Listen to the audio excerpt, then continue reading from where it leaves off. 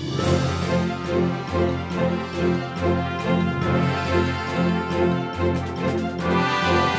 こまで来たので何が何でもオリンピックという場所に立てるようにしっかりと継続して結果を出し続ける必要があると思いますし、まあ、その中でやっぱり楽しみながら滑れる本来自分の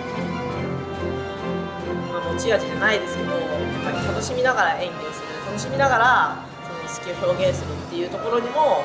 やっぱ気を向けながらストイックに勝ちにこだわるものではなくて、まあ、今までそれ勝ちにこだわってやってきたので次はしっかりと楽しむ中で結果につなげられるように微調整